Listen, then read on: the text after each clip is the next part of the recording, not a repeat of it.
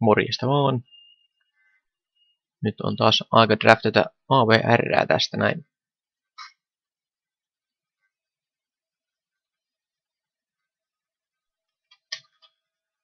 Ja ykköspussista on tarjolla näköjään toi Qatar's Crusade.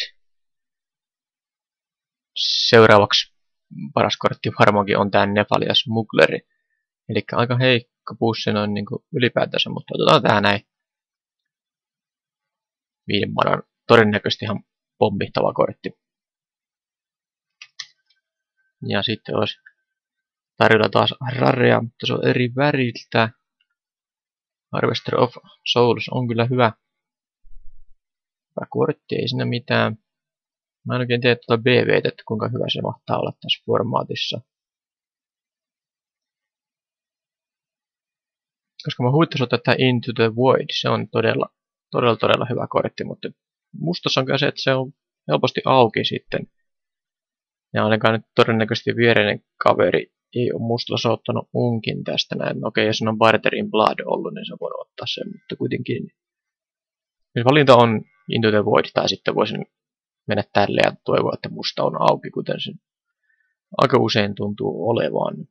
Joka tapauksessa mä en valkoista korttia tästä ota. Ihan en Traben Valiantille lähe. Ja mm, sitä voi kiertää musta korttia aika hyvin, niin mä taidan ottaa nyt tämän tästä näin. Toivottavasti ei mitään hirveän hyvää sinistä tullut. No eipä tullut. Sen sijaan ei teillä mitään älyttömän hyvää mustaakaan oo. Haulgeisti on varmaankin niin kuin parhaimpia bussin kortteja, mutta en mä nyt sitä ota. Mä voisin lähteä tietenkin semmoiselle akromustalle tästä ja ottaa ton Soul Cage Fiendin, koska se on ihan hyvä sitten akropakassa. Ja mä näitä Crypt Creepereitä saan tota sitten myöhemminkin. Ei niitä halukko maksimissaan kaksi pakkaa, vaikka kaksi dropit onkin tärkeitä, että nämä on, nämä on vähän heikompia nämä Goblin Bikerit. Ja Edelleenkin on sininen kortti on järkevä pikki on PL, ihan hyvä kyllä. Ei nyt hirveästi haittaa se, että en pikannut sitä tupla bonse. Mutta tuo Mental Agony ei ole mikään häppöinen kortti. Ei ihan Lightningi. Tai kyllä se ihan pelattava on, mutta ei mikään tämmöinen nelospikki tietenkään. Täällä on ihan hyviä punaisia kortteja kyllä, että on tää Rare, mitä nyt voi pelata, mutta mä ottaisin täältä mieluummin jonkun näistä varmaan Fervent Catharin tai Mad Prophetin kyllä ottaisin mieluummin kuin noin kaksi muuta, mutta olisikohan tämä nyt sitten tämä on aika vahva signaali, että punainen osa auki.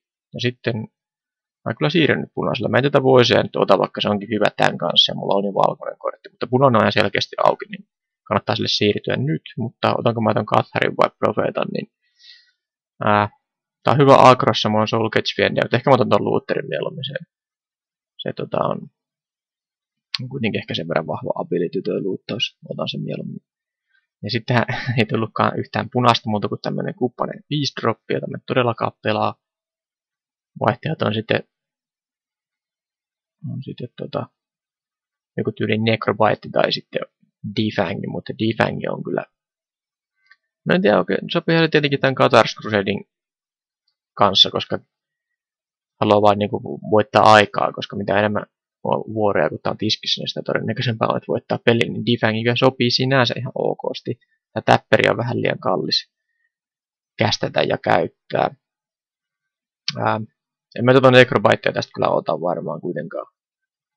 Perottaa tämän Defangin tästä ja pidetään nyt vähän vaihtoehtoja auki. Mä edelleenkin on sitä mieltä, että punainen on varmaankin auki, mutta tässä on tuossa pussissa ei vaan punaisia kortteja sitten ollut juurikaan. Tässä on sitten tämmönen Falkenrath Exterminator, vastaan sitten joku Devout Chapline tai Angelic Wall, jos oikeasti haluaa lähteä oikein panostaa tätä. Tekisikö ne jumipakan, mutta ehkä tähän paremmin kuitenkin tähän, mitä mä oon pikkalla, niin sopii tämä punainen kortti. Mä edelleenkin uskon, että punainen on vähän enemmän auki kuin tuo valkoinen, niin otan tää näin. Jos koitetaan semmoista BR, BR-aggressiivista pakkaa sitten saada aikaiseksi. Ja sitten on tarjolla tämmöistä. Tästä varmaan no pari hyvää jarrukorttia löytyy, tota, mutta en mä oikeastaan niistä ole kiinnostunut. Mä otan vaikka tämän Vesselin, Vesselin tuosta noin. Ja um, tässä on ihan hyviä. Tässä on Cold Flesh ja Ehkä Essence harvasti, jos pelaa aggressiivista, mutta otan mieluummin nyt kyllä tämän ensimmäisen Gold Flashin. Näitä haluaa kuitenkin varmaan yhden pakkaa ja kahtakin voi pelata ihan hyvin. Formaatissa on sen verran yhden Toughnessin kreatureita. Ja no, täältä sitten Scalding Devil, mutta tää oli aika heikko pussi, tämä ykköspussi muutenkin. Niin sitten otanko mä, mä varmaan toisen tuommoista halua muuten kaksi droppia kuitenkin. No, ei tää kuin kaksi, mutta tää on kuitenkin heikommasta päästä, niin yksi, yksi riittää hyvin pakka. on tämmönen vähän isompi mies sitten kanssa. Ja en nyt lähde tätä mitään hittamaan. Otetaan tää triumfi. Ehkä tätä voi jossain tapauksessa harjoita sisäänkin jopa. Ei tää läheskään niin hyvä kuin se vihreä, koska se kortin nostaminen on paljon parempi kuin discard, kuin että pakottaa toisen discardaan. Nostan mental agony tähän. Otetaan nyt toi, kun ei muutakaan oo.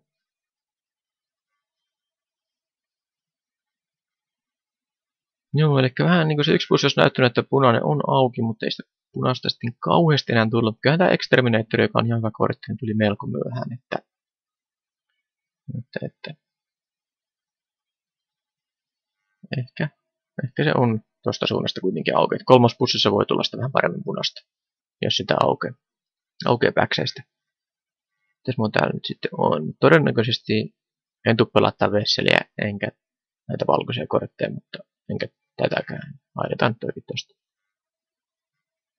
Se olisi niin periaatteessa ihan niin kuin viisi, ei kahdeksan yhteensä pelattavaa BR akrobakkaa kortteja, jotenka kyllä tämä ihan ok vaikuttaa. Koitetaan tota, jos se nyt jotain valkoista pommia aukeaa, niin pysytään, pysytään tuolla puunamustalla. Ja mitä täältä tulikaan sitten? Dark Impostor, joka on melko älytön kortti kun pääsee kuuteen manaan, että sehän mä tästä pikkaan ja tsekataan nyt sitten. Täältä voisi tulla Guys of Fire. Ja mitä mua kiinnostaa tästä pussista muut kortit on Guys of Fire, Undead Executioner ja Gang of Devilsiäkin voi ehkä pelata, joo, mua yksi kuusi vasta. Mutta joo, tästä nyt tietenkin otetaan tuo Impostori. Ja sitten tällaista Butcher Goal ja Evernight Shade. Kyllä mä tuon kaksi dropia otan mieluummin, tuo Shady voi kiertääkin ehkäpä vielä. Ja tää ei ole niin hyvä. Ja se on tää hyvä, kun täällä on tää Undying ja näin poispäin, mutta jos mä pelaan tätä punaista paljonkin, niin tosin tällä, tästä vaiheessa ei näytä siltä, niin jos on paljon jotain muutoksramppeja pakassa, niin tähän sitten tietenkin aina heikkenee huomattavasti, mutta tästä voi teoriassa vielä saada monon mustankin, jos tämä nyt on tähän suuntaan tosi paljon auki tämä musta. Mm, siinä onkin sitten edelleenkin pysytään mustilla korteilla. Tässä on kolme ihan hyvää vaihtoehtoa. Se tässä on valkoiset piiloon, niin tämä ei ainakaan pelaa, enkä nyt totakaan, en mä tähän, tähän mitään splashäämään. Niin tämä olisi kurve, ja jos noista ottaa punaiset pois, niin kurve näyttää silti ihan okolta vielä, että Mulla on yksi Butcher Goali tuohon Bone Splintersiin. Human Frailty on ihan ok. Mm. Mä otan varmaan poistu mieluummin kuin tämän Geistin, mutta kumman näistä. Mulla ei vielä hirveästi ole synergiaa tähän säkkäykseen, mutta tää kyllä osuu mihin vaan. Ja tällekin löytyy vielä targetteja tosi monta. Kumpi näistä todennäköisemmin kierretään? Se on ehkä se kysymys. Ja vaikea sanoa, Ehkä mä otan tämän Bone Splintersin ja tota, toivon, että mä saan lisää noita Butcher Goaleja tai Undead Executionereita. Joo, tää on pikkejä ja muuta vaihtoehtoa. Tää on tosi hyvä kortti ilman mitään Bone Splintersiäkin pakas. Ja nyt on ihan mielenkiintoinen kysymys, lähdenkö mä sitten ottaa toisen Executionerin vai Soul Cage Fiendin.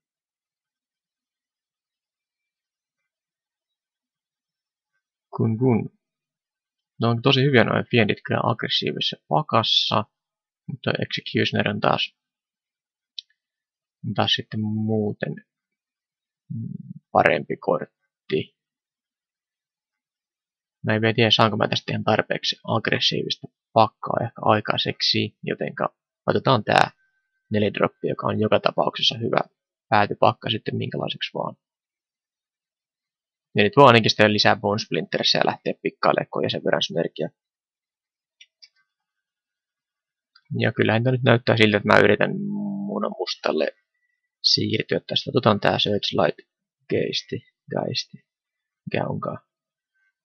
Ja jos mä nyt saan jotain Pillar of Flameita vastaavaa, voin tietenkin splashata tätä profeettaa ja sitten jotain punaista poistoa, mutta jos mä nyt saan tähän pelattavia tarpeeksi, niin ihan mielellään pelaan sitten monon mustaa. Ja toivon sitten, että se Heidi kiertää, koska sittenhän se on älytön, kun kaikki läntit on swamppeja.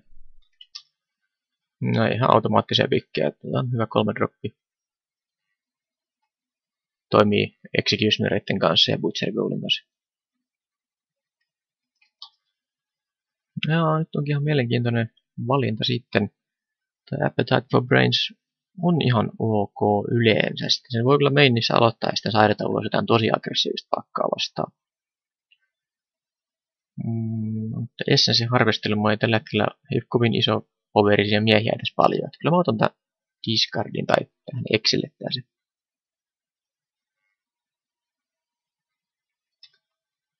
Ja sitten tästä näin voisi heitellä tätä Firebook Explorerin tai ottaa tämä Guys of Firen, jos oikeasti tarvitsee yhden Toughnessin miehiin poistoon, niin voi vaikka sitten saidata. Ehkä mä otan, se on aika epätodennäköistä, että mä tuun saidaa tätä sisään niin kuin Splashista ja tää on aika ikävä mua vastaan, kun mä näin vähän poistoakin. Ne otetaan toi pois kuleksimasta. No tässä nyt ei mitään muuta kuin Renegade Demonica. Näitä nyt kahta voi pelata kaksi tämmöistä ja sitten yksi Harvester, jos on se sellaista vähän high-end korttejakin. Ei ole vielä liian kalliita kortteja, mutta mä haluan nyt näitä kaksi droppia lisätä. Olkoon vaikka sitten niitä krypty creepereitä vai mitä ne on, kaksi ykköset. Niin. Koska mä haluaisin kyllä pistää nämä punaiset piiloon. Mä nyt laitan toistaiseksi ne piiloon. Koitan saada mono, monoblackia tästä sitten aikaiseksi. No nyt voidaan sitten ottaa tää Guys of Fire, jos mä haluan sideilta lisää pikkupoistoa. Ja Scroll of Grizzlebrand. Mä oon tässä aika monta demonia, että periaatteessa periaatteessa voisi sitä harkitakin. Ja syklaa aina ja me on täällä vielä Soul Cage Fiend, pari Renegade Demonia ja sitten tuo Harvesteri nyt ainakin toistaiseksi. Ja Tää oli Assassini vampyyri, joo.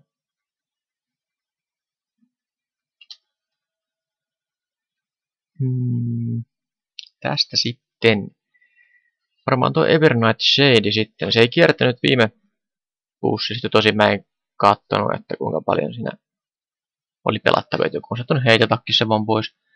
Mutta sitten tässä on tuo Hound of Grizzly Brianti, mikä on tietenkin on tosi hyvä kortti mutta mä en ehkä halua sotkea nyt tuota punaista tähän pakkaan. Plus jos mä, tässä on kuitenkin tosi hyvä neljädroppi monomustaan pakkaan, niin ei kannata ottaa punaista korttia tästä ottaa. Säkällä ehkä Cold Flash voisi kiertää, mutta taas 1, 2, 3, 4, 5, 6. Kyllä se ehkä, ehkä voi kiertää. Vaikea sanoa. No sitten Corpse Traders. Se on tietenkin hyvä.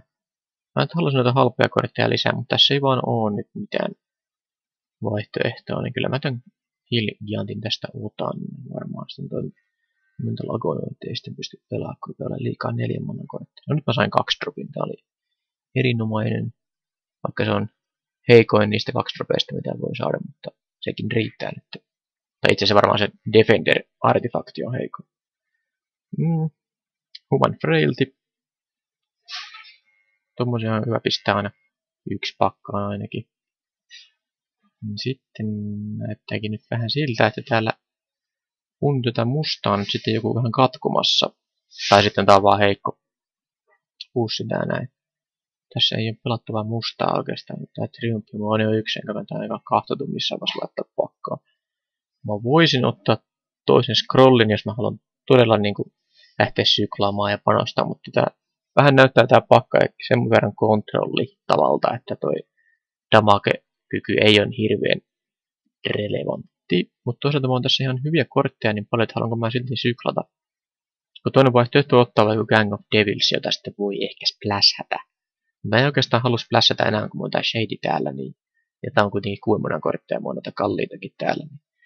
Otetaan toi scrolli, vaikka se olisi todennäköisesti kiertänytkin sieltä. Okei, nyt otetaan sitten Butcher Goal, joka on aina, melkeinpä aina jo parempi kuin tuo Crypt Creeperi. Saatiin kolmas kaksi droppi. No okei, okay, tää näyttää ihan okolta. Tää kurvekin. on kuitenkin sitten täällä Gold Flash esimerkiksi. Ja Human Frailty sitten vastustajan aikaisiin droppeihin, ettei tarvitse ihan jäädä jälkeen heti pöytilanteessa. Tässä Soul Catch Fiender nyt ei niin hirveän hyvä tässä ole, mutta on se silti mennään 3-2, niin ihan hyvät statsit siinä on. Ja nyt sitten Bladed Brazers. En oikein näe kyllä pelaavani sitä. Mä oon tästä tietenkin vain 20 play play, mutta, mutta ehkä mä tästä mieluummin, mieluummin vaikka heittää jotain pois. Ehkä tuo Winecrafteri jotain vaikka pois. En mä halua tätä pelata. Kyllä mä ne labelit saa vaikka sitten splash sitä punaista, mutta en mä halua tuota equipmenttia pelata tässä näin. Otetaan nyt show allin tosta vaikka. No hetkinen, tässä nyt mennään mun kurve enää hyvin, mutta mä varmaan mutta kaista. Mulla oli neljä kolme droppia. Neljä neljä droppia, mutta... The driver of... No ei se oikeastaan ole kovin hyvä, kun mulla on vaan kolme niin targetteisella abilitylle, niin tuonkin voisi ottaa, jos, jos olisi todellinen panostaja, mutta ehkä mä otan tämän kaistin mieluummin.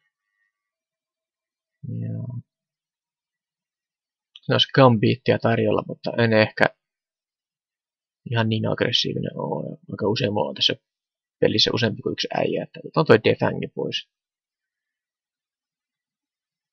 Joo. Ja... Otan tosta vaikka Rare. Mythic Rare. Hmm.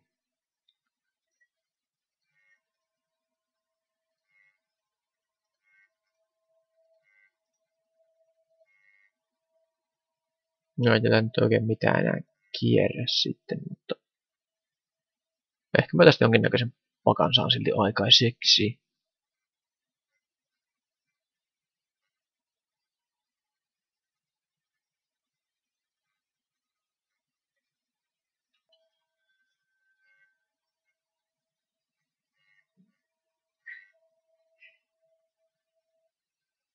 Joo, yksi tommonen Goldflesh tai kaksi droppia lisää, niin mä olisin ollut oikein tyytyväinen, mutta, mutta ei nyt tullut. Moron pelaan 18 ländiä mieluummin kuin että lähden splashhämään sitä mitään muuta. Varmaan on kaksi defangiakin, jotka vois periaatteessa splashätä, mutta mä en tiedä. Mitä Vessel of Endless Rest täällä tietenkin, että Mitäs Defangi tekee? Onko mun pakka nyt erittäin huonosta vastaan? Mä otan kuitenkin lentureita. Sitten tämmöisiä viien powerin miehiä. Sitten on late gamea löytyy niinku Dark Impostoria. Tän tämmöstä. Ehkä mä voisin harkita, että mä splashän sitä valkosta. Koska tästä näin, kun ottaa nämä unplayablet pois, niin Tässäkin olisi jo 23 ja tätä nyt ihan turha pelata monoblackissa, mä en tarvitse tota kiihdytystä mihinkään. Tässä olisi niin ne koodit, mitä mä suostuisin pistää tähän meiniin. Ja täältäkin haluaisin ottaa pois jotain. Tyylin scrolleja ei tarvitsisi pelata ja mental agonyyökään ei ehkä kun on kurve kohtuu raskas. No, katsotaan, mitä sitten deckbuildin näyttää.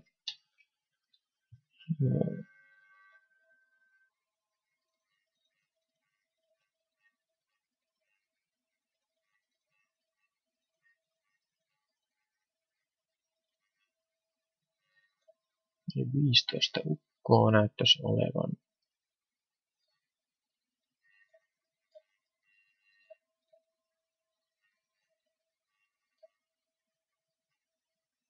Eli noin mä laitan joka tapauksessa pakkaan. Kyllä. Sitten olisi on niin neljä korttia. Mä todennäköisesti en halua pelata 18 ländiä. Joten mä voisin pistää sitten defangit. Ottaisin defangit sisään ja sitten nyt varmaan kannattaa pelata Vesseliä ihan senkin takia, että tästä samassa on paljon mustaa tälle Evernight Shadeille. Mä pistaisin Vesseliä kaksi Planesia ja se itse asiassa voisin pelata kolmeakin Planesia sitten. Joo, ei tässä ei nyt niin rikkonut sitten, jos on muutama, muutama ei musta manasorsi pakassa. Eli jos pelaisi tota noin. Se mä en tiedä, kannattaako tämän tilalla pelata vaan Blazea. Neljä Blazea, jos pelaisi 13 Swampia. Kun tuo akseleraatio on niin, niin heikko tälle pakalle. On tällä käytännössä vain kolme korttia, johon se akseleroi. Toki nyt sitten voi kiittää myös myös tota... No ei, ei mitään joo. Mä ajattelin, että se voisi kiittää vaikka nelosvuoron siihen, että voi pelata kaksi dropia ja kolme dropia, mutta siinä tapauksessa voi pelata kolme, kolmosvuorolla sitten tota, ton sijaan sen kolme dropia vaikka. Se oli huono, huono päättelyketju se. Eli kolmen korttiin se vaan kiittää, niin se ei ole yhtään tarpeen. Eli ehkä mä en pelaa sitä. Pelaan neljä planesia. Sitten mä saan defangin kyllä aina. Ja silti sitten saa 13 svampia, mikä kyllä riittää näille tuplakästereille ja tälle shadeille ihan hyvin.